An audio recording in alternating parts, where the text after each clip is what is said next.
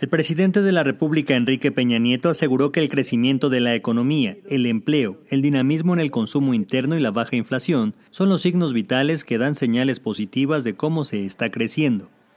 Nuestro país está creciendo económicamente.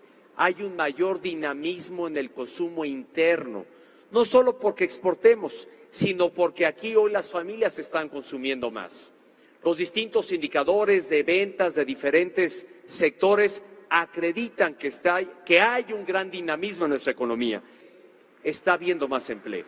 De hecho, estamos alcanzando cifras de empleo que nunca antes habían tenido en un periodo igual, si así lo midiéramos, de cualquier otra administración.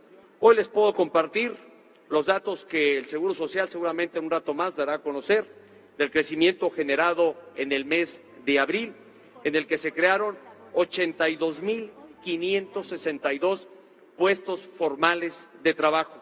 Esto significa que son 17.500 más que los generados en abril del año pasado. Y esto también significa que el empleo está creciendo a una tasa anual de 3.6%.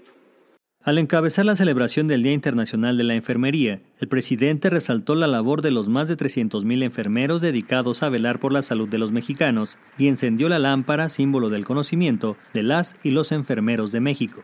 Con información de Susana Cerezo, Notimex.